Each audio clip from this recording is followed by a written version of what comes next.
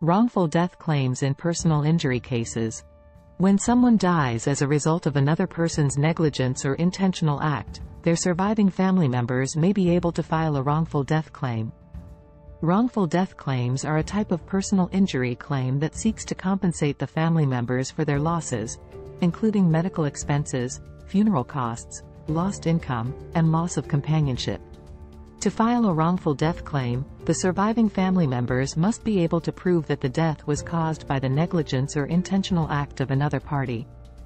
This may involve gathering evidence, such as eyewitness testimony or medical records, and working with expert witnesses to establish liability. Wrongful death claims can be emotionally challenging, and it is important to work with an experienced personal injury lawyer who can guide you through the legal process and advocate on your behalf. A knowledgeable lawyer can help you understand your legal rights, navigate the complexities of the legal system, and work to ensure that you receive the compensation you deserve for your losses. For more information and a free consultation please call at 312-357-1431 or visit us online at www.jmflaw.com.